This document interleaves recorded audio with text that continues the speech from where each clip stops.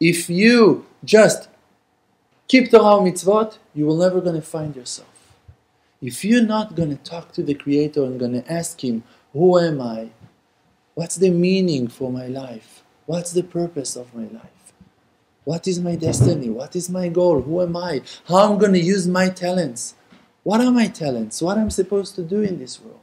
If you're not going to talk to Him about it, and every day you're going to ask yourself, is it right that I'm working in this business? Maybe I should change my direction. Maybe I should do this. Maybe I should do that. Who am I? Maybe I should learn on the things that I wanted to learn when I was young. Maybe I need to refresh myself. Am I happy to go every day in this direction? Maybe I need to make a change in my life. If you're not going to start talking to yourself, praying to Hashem Yitbarach to help you, you will never going to find the roots of your soul you can be so used to walk in patterns and in the regular ways of life, like all people are, that you can forget yourself very easily. Only if you're going to start fighting with your habits, with your laziness, with your fears, only if you're going to wake up one morning and decide, I'm confronting my fears, I'm not letting them conquer my life. I'm not going to do things because I'm afraid. I'm going to start finding my real destiny. I want to be who that I am. I want to be happy for my life. I don't just want to be like others. I don't just want to be quiet and to be left alone. I want to achieve the purpose of my life. I don't want to give up on my dreams. I want to have goals in life and to achieve them and then to dream more until I'm going to achieve another thing and another thing and always to keep on growing. And I want to make people happy. I want to support people. I want to make people grow. I want to help them stabilize themselves. I want to share with my life experience, with the wisdom that I bought in life, things that I understood. So why I'm afraid to talk? Why I'm afraid to be who that I am? Why I'm not sharing? Why I'm not helping? Why I'm not giving a hand? Why I'm not helping people? If a person going to be brave enough to look inside to who that he wants to be, to who that he believes that he's supposed to be, it's going to upset him so much that he's not loyal to himself. He's going to feel so upset, so annoyed from the fact that he's supposed to do something great in life that he's going to make a change. But before that you dare to look before that you dare to confront your fears, to stand in front of the mirror and to say to yourself, you're lying to yourself for years. 10 years of your life, you lost. You were just working. You were just walking in your dreams. A dead man walking instead of being alive. Only when you're going to stand in front of that shame that you're not who that you are and you're going to be brave enough to say, I betrayed myself. I was not loyal to myself. I was not standing for my inner truth enough. If you're not going to do that, you will never going to find the real truth of who you are. What is your real destiny? In what really you're good at? What really you can do? Which change you really can, can, can make in the world? How really you can become useful and helpful. First of all, we need to stand in front of the mirror of our soul and to talk to ourselves, to ask questions, and not to be afraid of the answers. And when you hear an embarrassing answer, don't be afraid to say, All right, let's see how I'm fixing it. Even if you feel like you're ruined, even if you feel like you waste years of your life, so what? You can always do tshuva.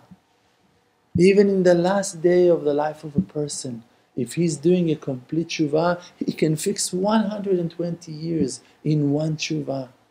In one time that he came back to Hashem and he admitted to Hashem and he said, Hashem, I was lying to myself. I was too scared to be who that I am. I was too scared to say my opinion, to fight. I was too weak. Please give me powers. I don't want to lie to myself anymore. Before you stand in front of yourself like that, you will never gonna find who you are. So for that, we need to get used to that. To have a daily conversation with the Creator. It calls mitzvah tefillah.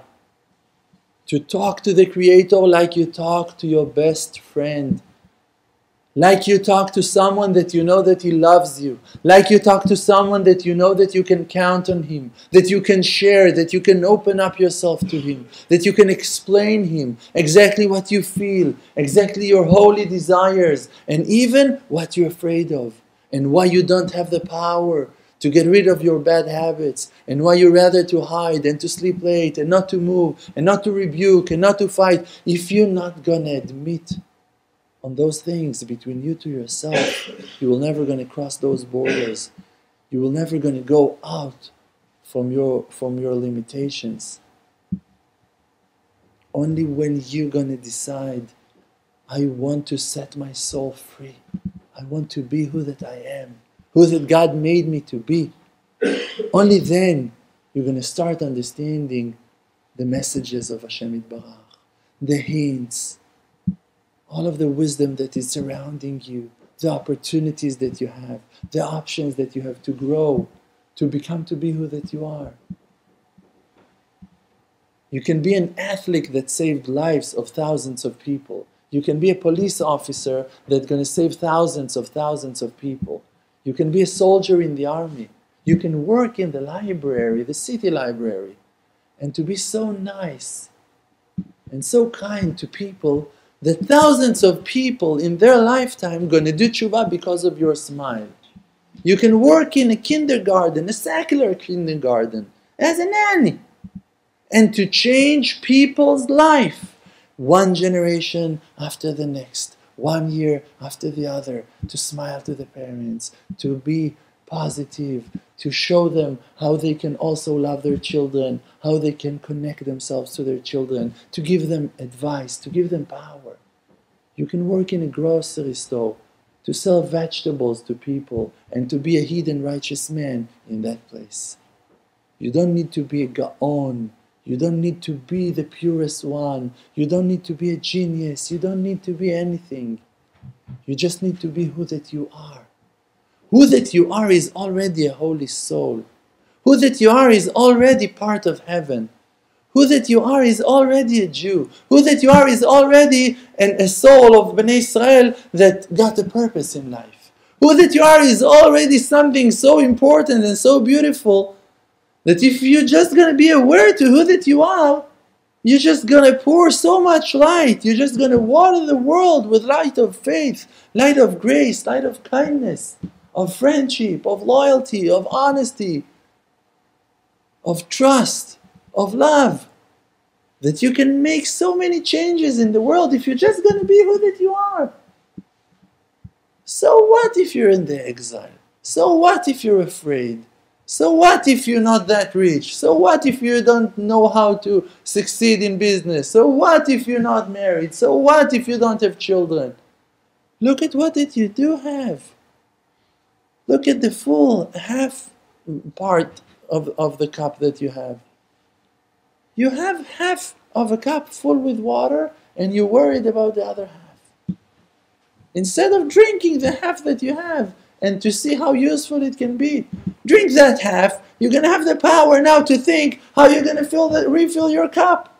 If you're not going to drink it because you're so worried to be who that you are and to enjoy from what that you have, you will die thirsty with, with water in your cup. You will never going to reach your destiny because you're afraid to admit in your failures, in your downs, in your fears. I'm telling you that if you're going to dare to stand in front of your fears, you're going to find out that they're not so bad. The fact that you're not dealing with your fears, that's what makes them be so frightening. You're telling stories to yourself. Your Yetzer Hara is making them to be so, so terrifying and so horrible. Go, say the truth. You're not going to be hurt. Nothing to happen to you. And if something to shake, if something to move, so what? So deal with that. So say, I didn't want it to make no problems. I just said the truth. I'm ready to apologize if I hurt your feelings. If I made something wrong, I, I'm ready to listen. I'm just seeking for the truth. Maybe I'm wrong. Tell me if I'm wrong. When you're to do that, you're to become to be who that you are. You will understand how much more there is to it. You're going to find out that you have a spring of wisdom that is life and exists inside of your soul, inside of your being. Springs of wisdom. Inner connection to the Creator through the channel that calls your soul.